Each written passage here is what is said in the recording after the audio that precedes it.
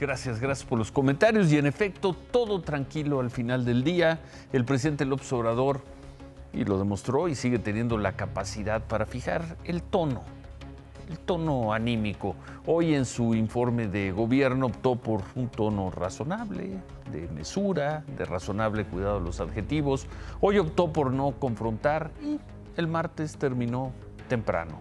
Martes digamos que de suavidad.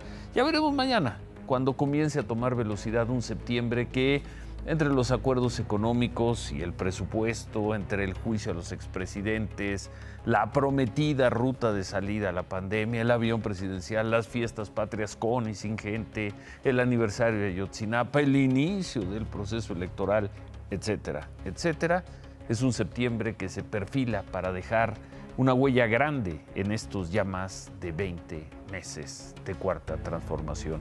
Veremos si en este septiembre se mantienen la razonable mesura y el razonable cuidado de los adjetivos. Se quedan, ya lo veremos, se quedan con qué importa. Gracias, buenas noches, ánimo.